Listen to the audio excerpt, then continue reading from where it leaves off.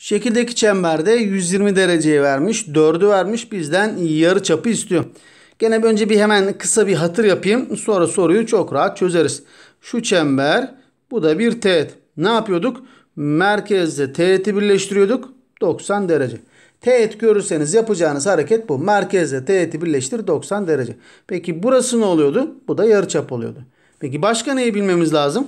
Çemberin dışındaki bir noktadan burada bir teğet çizdiniz. Sonra gittiniz diğer tarafa da teğet çizerseniz bu teğet uzunlukları da birbirine eşitti. Onu hatırlayacağız. Şimdi bakın B noktasından bir teğet çizilmiş 4. O zaman B'den C'ye çizilen teğet de kaç olmak zorunda? 4. Bunlar birbirine eşit. E, klasik hareket merkezle teğeti birleştir 90. Merkezle teğeti birleştir 90. Şimdi şunlardaki yarı çap. Bakın burada bir deltoid oluştu görüyor musunuz? R, R, 4, 4. E, deltoidde bir özellik vardı. Şu bir tepeden bir tepeye gelen köşegeni çizersek yani merkezde B köşesini teğetlerin uçlarını birleştirirsek burası ne olacak? Açı ortay. Ha, o zaman hatıra şunu da ekleyelim. Teğetlerin ucunu gelir merkezle birleştirirsek burası neymiş arkadaşlar? Açı ortay. Tabi aynı şekilde karşısı da ne olacak? Açı ortay.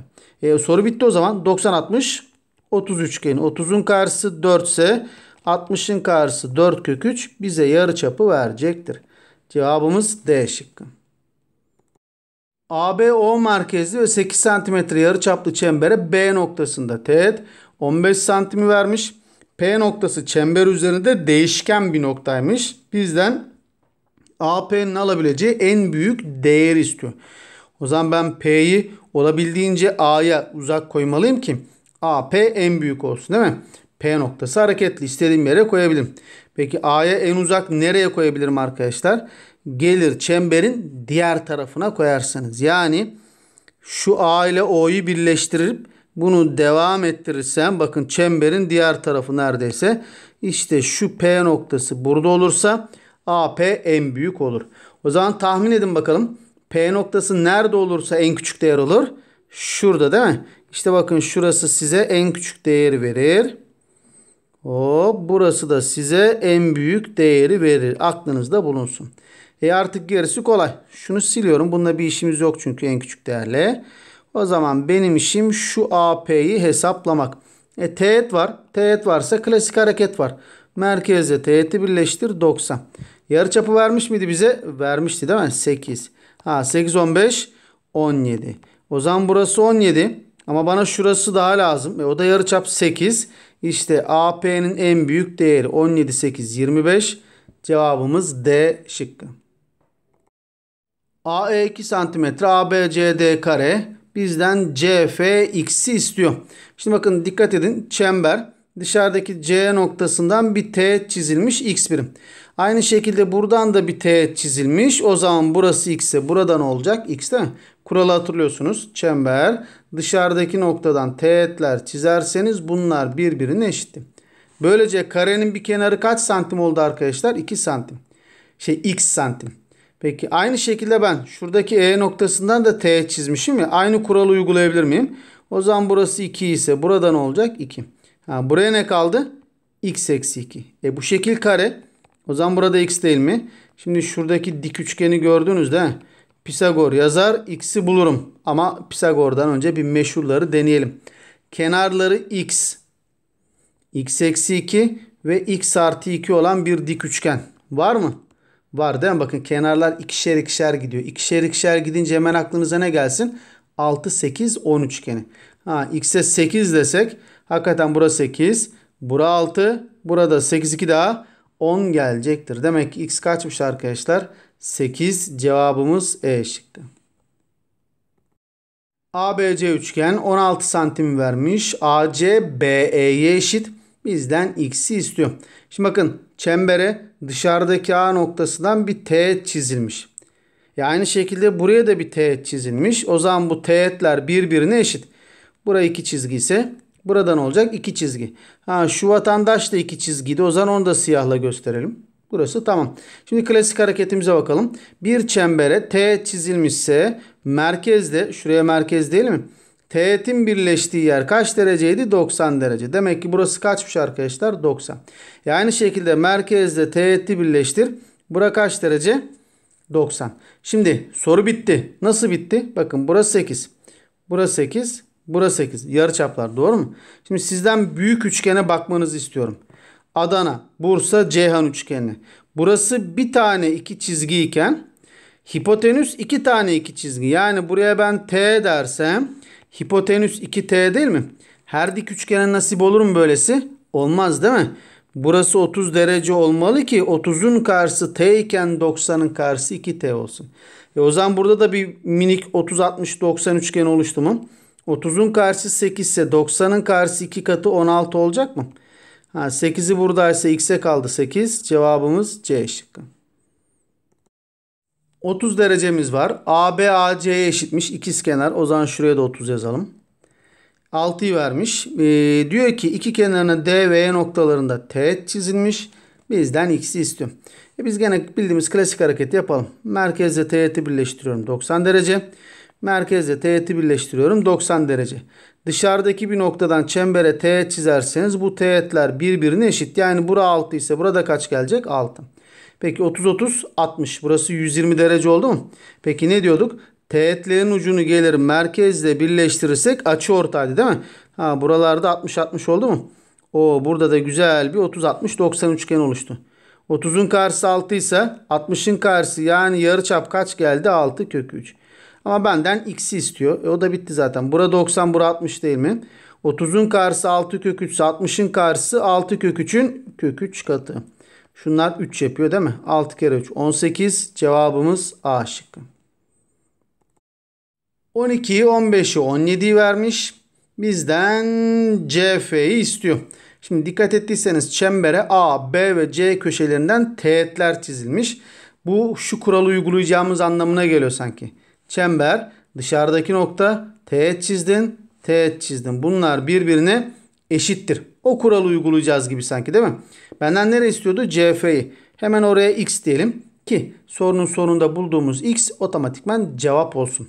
O zaman her zaman böyle kafamızın estiği yere x demiyoruz değil mi? Bize nereyi sorarsa oraya x demek mantıklı bir şey.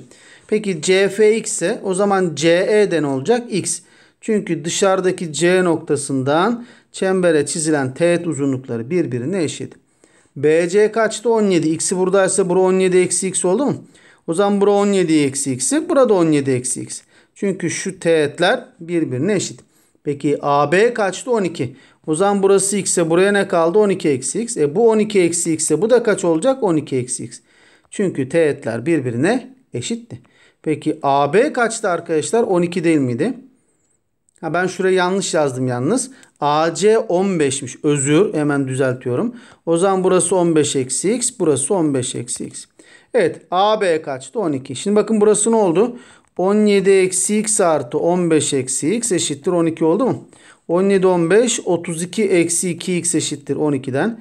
At bu yavruyu bu tarafa 32 eksi 12 20. Bunu da bu tarafa at 2x'ten x eşittir kaç gelecek arkadaşlar? 10. Cevabımız D şıkkı. Kaan öğretmen geometri dersi tahtaya aşağıdaki bilgiyi yazıyor. Çemberin içindeki bir noktadan geçen en kısa kiriş bu noktada çapa dik olan kiriştir demiş. Yani P noktasından en e, P noktasından geçen en kısa kirişin AB olduğunu söylemiş. Yani Türkçesi şu. Şöyle bir çember alalım. Şurası merkezimiz olsun o. Şurada bir tane de K noktası alalım. Şimdi size dedi ki K noktasından geçen en kısa kirişi çiz. Sizin yapacağınız işlem şu. Önce O ile K'yi birleştireceksiniz. Yani merkezle K'yi bir birleştireceksiniz. İşte bu oluşan doğru parçasına dik bir doğru parçası çizerseniz bu TL size neyi verecek arkadaşlar? En kısa kirişi verecektir. K noktasından geçen. Bakın burada da öyle olmuş değil mi?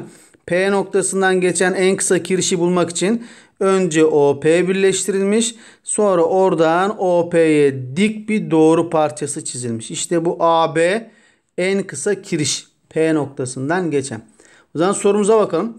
AP2 PO 15 çemberimiz var. P noktasından geçen en kısa kirişin uzunluğu. O zaman P noktasından geçen en kısa kirişin uzunluğunu bulmak için şu OP'ye ne yapacağım? Dik bir kiriş çizeceğim. İşte bu arkadaş. KL en kısa kiriş olacaktır. Klasik hareketimizi yapıyoruz. Kirişler varsa kiriş uçlarını merkezle birleştirip yarıçap oluşturuyoruz değil mi? Yarıçap kaç? OA 17 değil mi? O zaman yarıçap 17. Demek ki bura 17. E 17, 15 burası 8.